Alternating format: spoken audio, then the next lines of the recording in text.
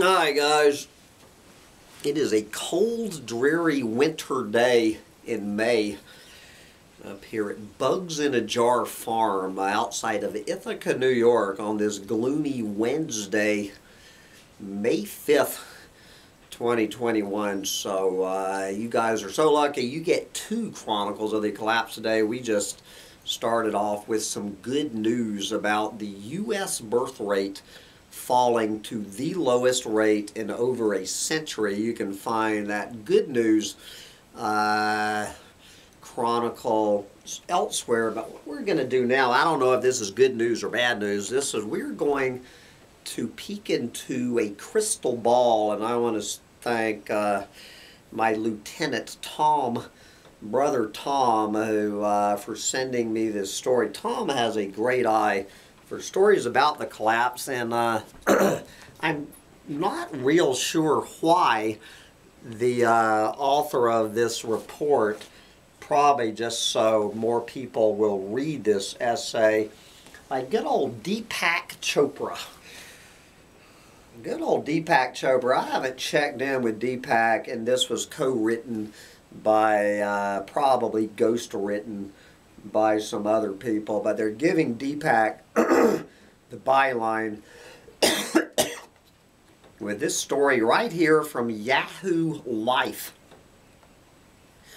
To survive our technical transformation, civilization needs a cognitive revolution.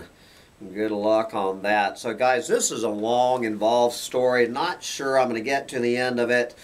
I'm going to read about 15 minutes of it, and I'm going to put the link on here and suggest you read this yourself. So what does Deepak and the gang uh, see shaping up in the next couple of decades, over the next decade? All right, take it away, Deepak.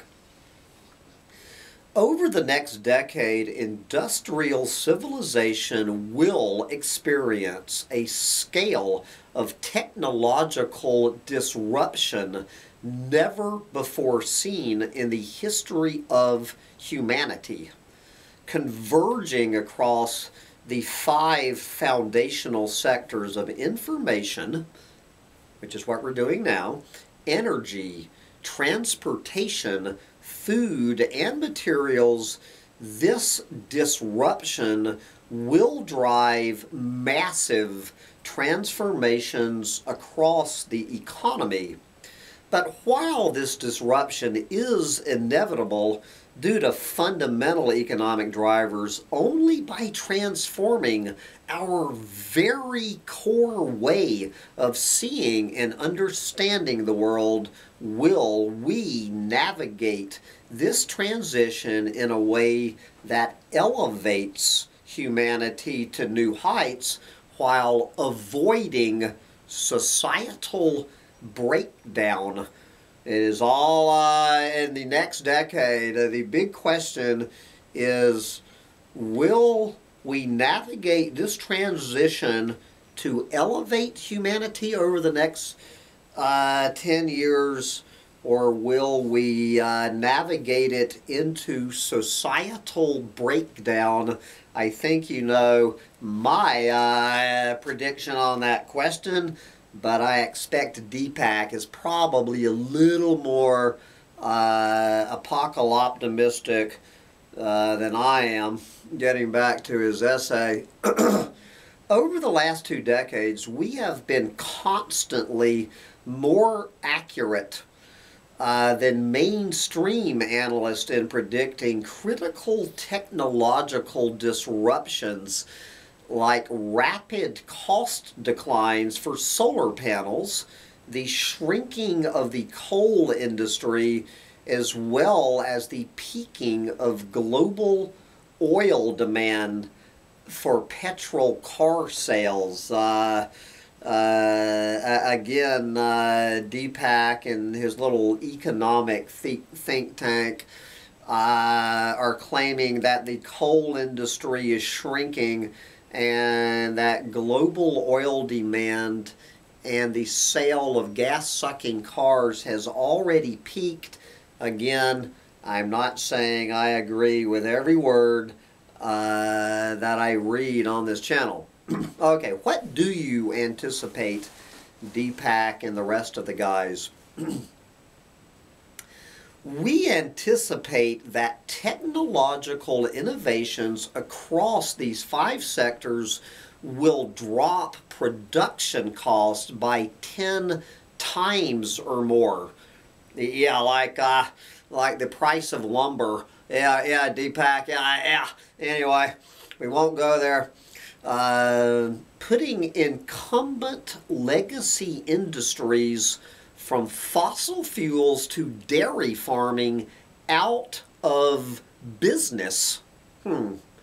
Fossil fuel companies and dairy farming will no longer exist on this planet in 10 years, according to Deepak uh, and the guys potentially allowing humanity to revolutionize the way we process and communicate information and produce our energy, food, and materials.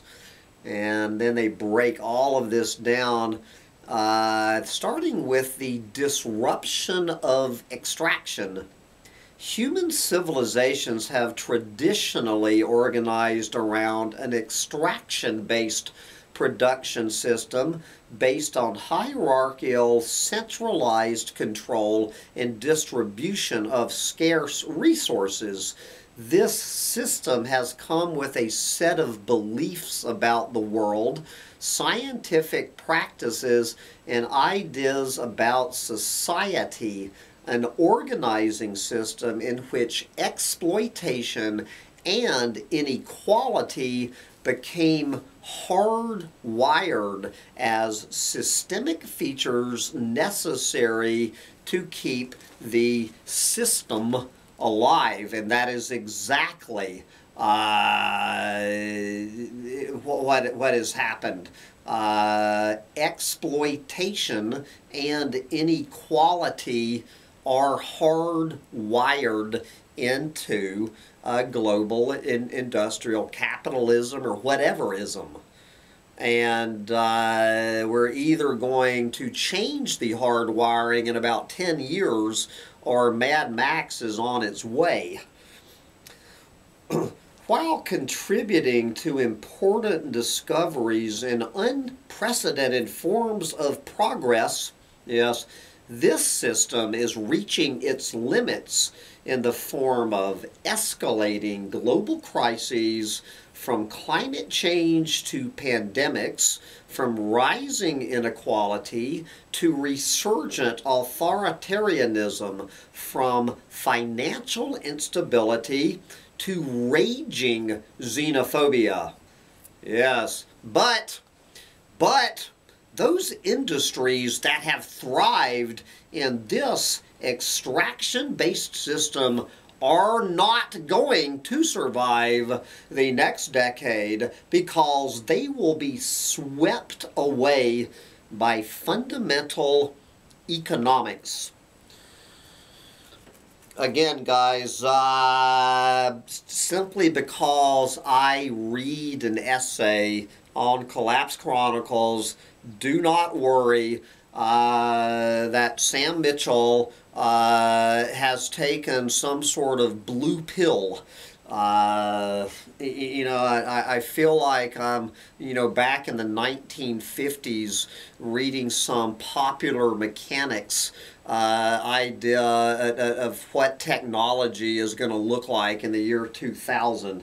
So all of this is going to happen in the next 10 years, according to Deepak and his friends, those industries that have thrived in this extraction-based system are not going to survive the next decade. All right. And as he says now, life comes at you fast. Yes. Centuries ago, uh, the cross pollination of technologies in different sectors led to the innovation of the printing press, which made books widely available and affordable. This unlocked the mass circulation of knowledge and ideas, making way for the Enlightenment and scientific revolution. And then a century ago, the internal combustion engine along with the first moving assembly line, led cars to completely replace horse transportation. At the time, nobody thought that was possible. Yes, then automobiles went on to transform entire industries and entire built environments with houses, towns, and cities redesigned around cars uh, then don't forget the arrival of the smartphone, the cloud and AI. Uh, blah, uh, guys, I'm just paraphrasing as I go along. You need to go and read this. Uh, don't forget digital cameras, microwave ovens. All of these disruptions can take little more than a decade to render their predecessors obsolete. So, hell, if we can come up with microwave ovens, we can uh, disrupt uh, 10,000 years of extraction-based uh, industries. You, you go, Deepak. So why is this?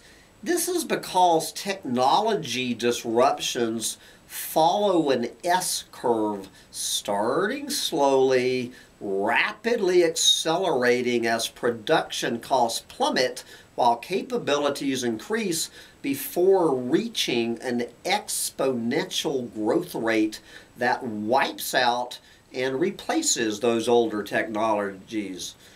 And so we have an opportunity, guys.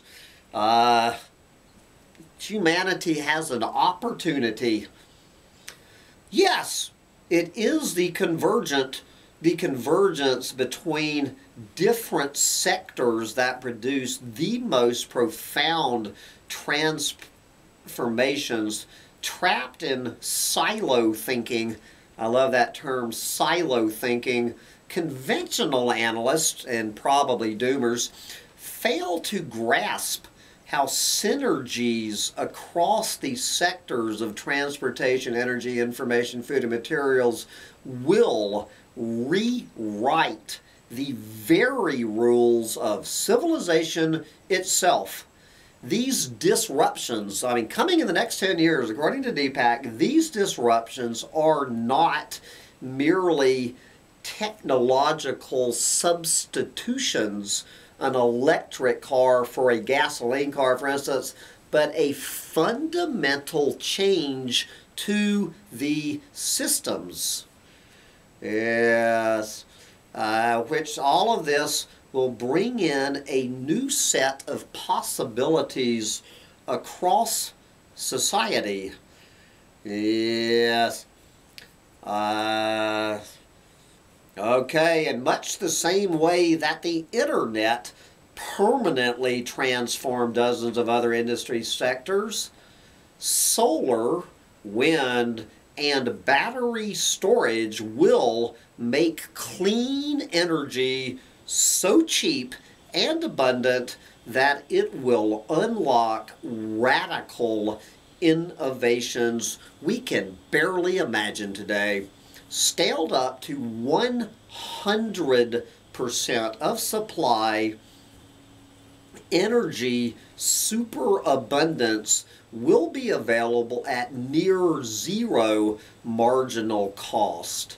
The energy system will shift from domination by centralized utilities to inherent decentralization, enabling the emergence of self-sufficient communities, companies, and regions while creating new jobs, products, business models, and organized capabilities. Obviously, uh, Deepak Chopra has never read Bright Green Lies by Derrick Jensen and uh, and the Deep Green Resistance guys.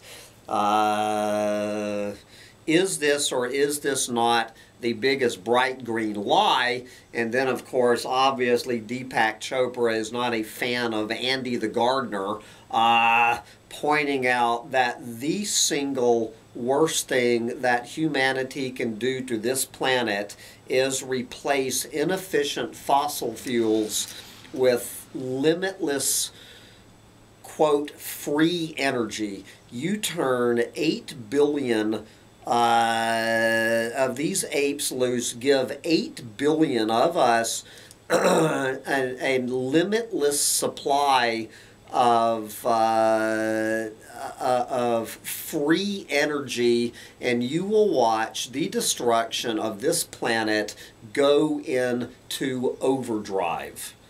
Uh, it will make the uh, the destruction of fossil fuels to this planet seem like a bad hair day in comparison.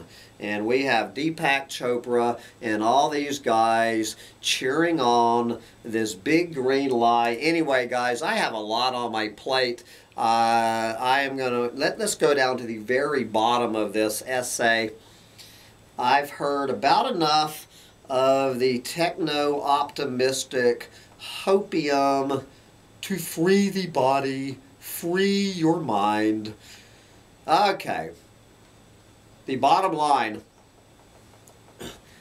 we can only guess at the mosaic of sciences, belief systems, governance mechanism, value codes, and don't forget spiritual practices that will emerge uh, in the next 10 years to support and enrich humanity in this new age of freedom. All right. It is a new age of freedom uh, we're embarking upon. But we can be sure that you can only guess on that, the last line, but we can be sure that for the first time in history, we, we humans, can see well within our grasp an imminent future full of unlimited possibilities. It is up to us to make it ours. Yes. And I guess the real authors of this uh, descent into hopium uh, and Yahoo lifestyle are James Arbib. He is chairman of a UK-based family investment office with a diversified portfolio across all asset, asset classes. All right, so this man uh, who's going to open up the age of freedom uh, has given keynote speeches to at dozens of events, including for BlackRock, Goldman Sachs, governments, and corporations. Yes, I, I know I'm going to, I'm going to let that man lead me into a, into a new age of freedom. And who is Tony Seba? He is the uh, other real author of this. Tony Seba is a world-renowned thought leader, author, speaker, educator, an angel investor. This man invests in angels, and of course, he is a Silicon Valley entrepreneur. Yes, he too has been a keynote speaker at hundreds of global events and organizations, including Google, Davos, COP21, JP Morgan, the Global Leaders Forum, and of course, Intersolar and China EV 100. Yes, uh, I have no idea what Deepak Chopra is doing running around with these guys. Uh, anyway, uh, I think you know my opinion on uh, the new age of freedom washing into this country and this planet and the what does Deb Ozarko call the 2020s the decade of is it the decade of unraveling? Anyway I can't remember Deb anyway guys I've got to uh, wrap up this nonsense and uh, get out there and uh, buy a uh, I'm shopping for one of these these like brush like a uh, I, I guess you would call it a weed whacker on on steroids. It's a uh, you take a weed whacker and you put a nine inch chop saw blade on the end of it. Uh, so I need to get out there and go buy a, uh, a, a, weed whacker on steroids before the Amazon jungle takes over uh, Bugs in a Jar Farm if it ever gets above 60 degrees again. Anyway, get out there and whack your weeds while you still can. And do enjoy the new age of freedom coming up between now and 2030. Bye, guys.